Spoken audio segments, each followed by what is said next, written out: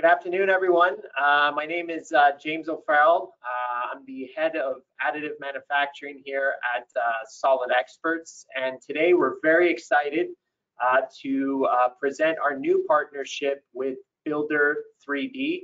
It is a company from the Netherlands. they've been in business now for the last 11 years. They've focused their, their energy on large scale printing, which you can see behind me here. And so really the goal for us uh, at SolidXperts is to expand our portfolio, uh, create um, 3D printing offers that can meet uh, the demands of the of the marketplace. And so when it comes to uh, Builder 3D, uh, we felt that this was a great machine for anyone who is looking to get into large scales printing uh, in terms of prototyping, in terms of looking at some tooling, fixtures, jigs at a more larger scale. Uh, we have all kinds of great applications that we can use with this 3D printer. And so we came to the conclusion that the Builder 3D was a great offer for our customer base uh, due to a multitude of factors in terms of reliability, in terms of uh, precision, and in terms of a price point that it, it's uh, a fraction of the cost of what some of the top technologies out there, but however, it still meets those same uh, prerequisites that some of the, the six-figure machines have. And so Builder 3D is a great in between to get great quality parts uh, for your prototyping needs, for uh, larger scale of tooling and fixtures. And so today we're just going to do uh, a bit of an overview. We're not going to dive in too deep, but we're just going to give an overview of some of the features, some of the specs uh, that the Builder 3D uh, has to offer. Um, so we're going to get uh, right into it so that uh, you get an overview. And if you want to go a little bit more in, in depth and you, you see this presentation today as a value for your organization, uh, we can always work in conjunction with you uh, by providing either a file uh, and doing a kind of a case study in terms of cost of material, print time, and also as well uh, get an opportunity to uh, print the part and kind of validate uh, if it meets uh, in terms of precision, resolution, those sorts of things for whatever project you're looking to do with our Builder 3D printer. so now that We've uh, got an introduction to our machine here. Uh, we have at Builder 3D, we have um, three three models that we have in, in, in mind here. So let me just showcase the first one here. So this is um, our largest scale printer in terms of dimension. So we have uh, here the Builder, we have the Extreme 2000, which is our largest scale printer out of the three models. So we have three models. We have the 1000, the 1500, and we have the 2000. And the 2000 has dimensions of 700 by 700 and 1.7 meters in height. So you can see you can print some really, uh, if you need some height to your parts, uh, this is definitely a uh, printer for you. And in terms of applications, uh, later on in the slides, you'll see some of the things that, that have been done with uh, the Extreme 2000. Uh, this is the one that we have in, in stock right now uh, that we, we help test with our clients, and that's the uh, Extreme 1500.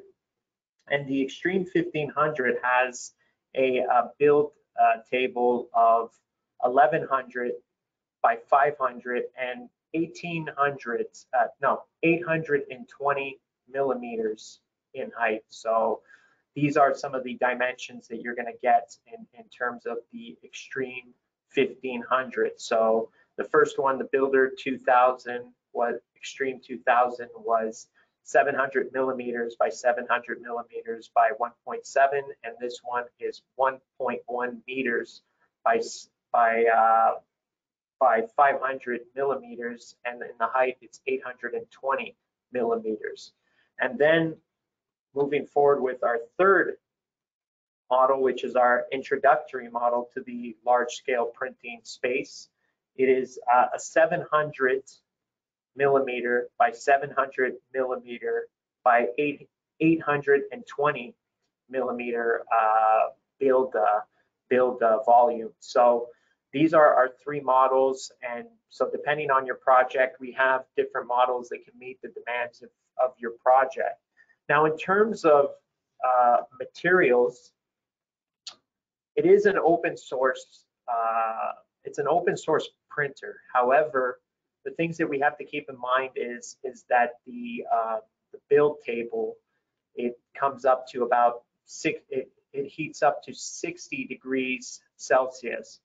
So in order to have optimal parts, the recommended materials that we have here uh, for you would be the a standard PLA, and then we have uh, what they call it's an in-house brand. It's uh, called the Pro One.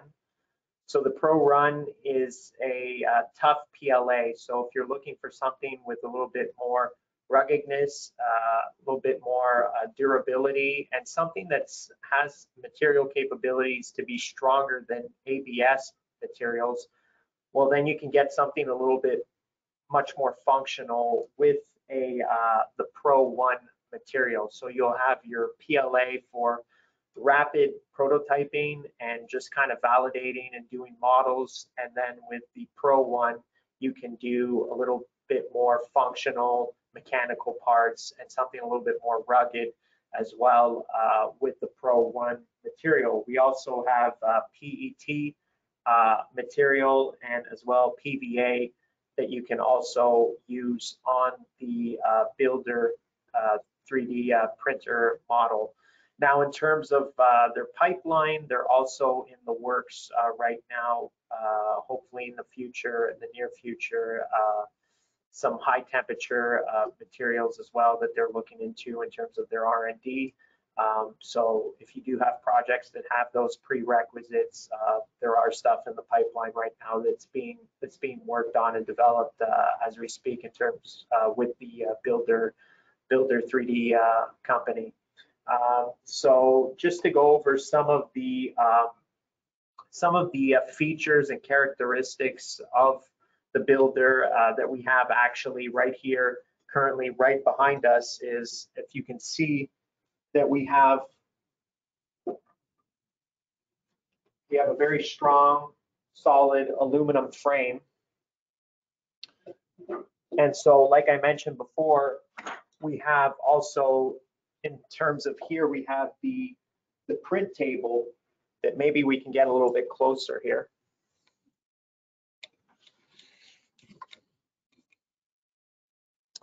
So if you can see in here, we have the print table, which this is the Builder 1500. So you can see here that uh, you can heat this up to about 60 degrees Celsius. And so you also have, in terms of your uh, nozzle, you have a double extruder with one nozzle. So you can see here the two filaments that are feeding. And right here, if we can go around. Sorry for the uh, the visuals. Sometimes I'm just trying to move around here. Uh, but you can see that in the back you have uh, two two spools here of cartridges that are uh, 400 uh, 4.75 kilograms. So these are pretty big uh, spools of material that you can get off of the uh, Builder 3D. So you can take two filaments here, you can actually mix colors. So you don't necessarily to have an all black part. If you need to mix uh, black and red or black and white, you can have two filaments that are feeding into the uh, into the head into the head of uh, into the nozzle.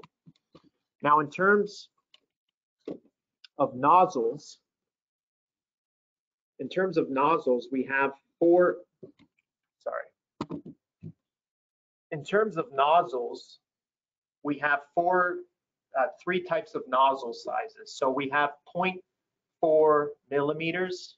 We also have 0.8 millimeters, and we have 1.2 millimeters in terms of the uh, nozzle size. So depending on what kind of precision you want to get, obviously with the 0.4 millimeters, you're going to get a much more precise part obviously in print time, depending on the, the, the size and dimensions of your part, you're looking at a lar- uh, longer print time. If you're looking for something in between, uh, 0.8 is recommended. It can get, you can get relatively good precision and as well a good print time.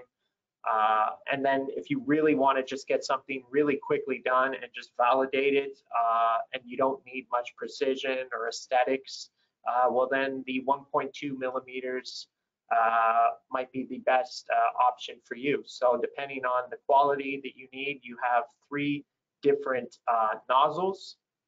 Um, in terms of the layer thickness, you're looking at point, 0.1 uh, millimeters to point, 0.9 uh, millimeters in terms of the layer thickness of, of the printed, printed parts. Um, so now in terms of the applications, in terms of also some other options on this printer, we have um, a UPS system that can give you a detection.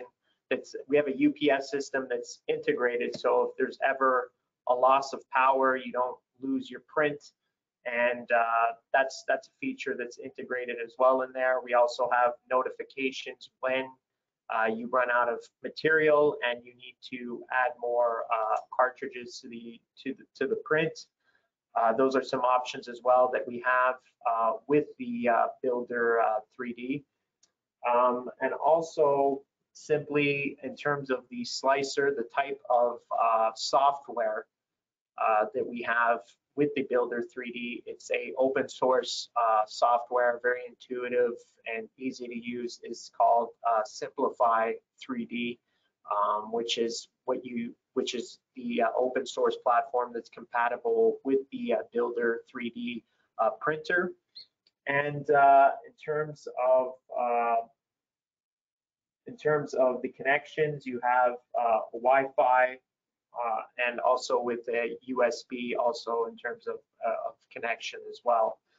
And so now if we were to kind of transition into some of the applications and also some of the parts that we've been fine tuning and, and, and printing as well, this is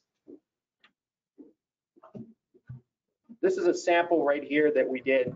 So this gives you quite a quite a good idea in terms of the quality and the uh, the geometry that we were able to go get with this uh, some it was a pretty funky design in terms of a vase so we really wanted to test to see what we could get as a kind of surface finish precision. So this was one of our our, our first uh, first uh, prototypes that we that we tried just in terms of design just to get something out there and kind of see what would come out of it. So uh, this is the uh, the result of it. So it's pretty impressive, pretty precise.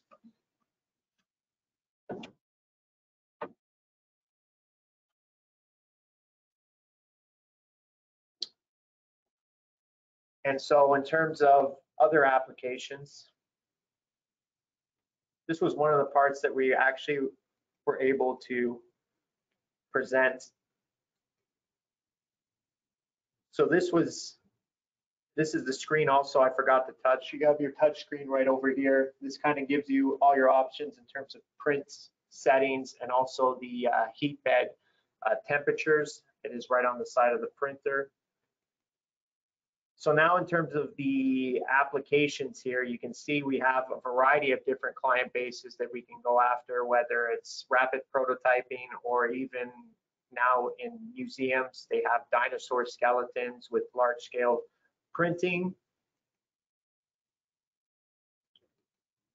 We also have mannequins that we are, are able to, sorry about that. We have mannequins here for stores. So again, you're looking for nice surface finish, precision, and just simple prototyping, this is a very, very reliable machine for that. And in terms of uh, the size part, we're looking at 95 hours of print time here. If you can see, the size of the part is 110 centimeters. It's one piece, and this was done on a 0.8 millimeter nozzle. And so now more in the uh, automotive side, we have a cus, uh, we have uh, we have some custom intake solutions for uh, top tier supercars here. Again, uh, the part that was printed, the size of this intake system was 80 centimeters. And so this one required a little bit more uh, precision and quality. So they went with a 0.4 millimeter uh, nozzle on this one, and it was 55, 55 hours of uh, print time there.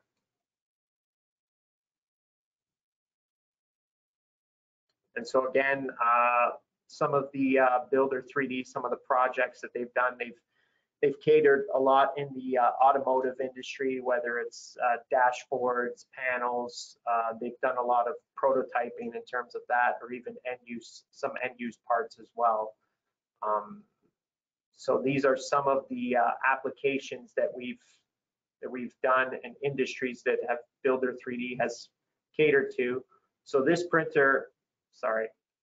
So this printer right here, also, this is the uh, this was done on the Extreme, uh, the Extreme 2000. So if you're looking for something with a little bit more height uh, at 1.7 meters, this was the results that you can get with the uh, with the Builder uh, 3D uh, uh, printer right here. And so in hindsight, just to kind of do an overview of of of today is simply we have an offering now of a large scale printer and uh, this we're excited to start collaborating with companies start discussing their projects seeing what the capabilities are and in terms of this machine and kind of push it uh, to the limits so now if you're looking for something with that's of large scale in terms of prototyping or tooling or even we would love to test in terms of mold capabilities, see what kind of precision and what kind of strength we can get out of that with some of the parts, with especially with the Pro One uh, material. Uh, if you have any projects like that, feel free to uh, reach out to us, and we'd love to collaborate with you, share files, and kind of print and and validate these parts. So today was just kind of more or less an overview to kind of show that we now have those capabilities, and so we have um, we have uh, the technology now to meet some more of the demands of the marketplace. So if you have any questions uh, regarding uh, the 3D printing, uh, feel free to reach out. Or I believe, I, I, don't know if our moderator's available right now, but we, if you have any questions, you can feel free to reach out and we can always set up a more personalized custom demo and kind of maybe answer to see if if the, the, the, precision is sufficient in terms of resolution, in terms of in terms of print time, in terms of cost of material. Uh, these are all things that we can uh, validate in, in, your project. So um, on that note, uh, thanks for for this web. thanks for attending this webinar. Thank you for uh, taking the time this afternoon. We just wanted to kind of showcase uh, our new uh, new equipment, and when you have an opportunity feel free to reach out and we would love to know more about your project. Is there any questions before we, we cut this short? Questions? All right, well, everyone, thank you for this afternoon. Thank you for uh, passing, uh, thank you for taking the time with us today. And uh, if you uh, if you want to reach out and have a personalized presentation, uh, we can always do that and organize something with you guys. Uh, the Builder 3D can respond to a lot of your needs, especially when it comes to prototyping, tooling, fixtures, and uh, we would be looking into molds uh, as well to kind of do more tests on that to see if it could validate those needs. But primarily for prototyping and tooling could be an interesting option for your company. Uh, feel free to reach out. Looking forward to hearing from you. Thank you for thank you for attending today. Have a good one.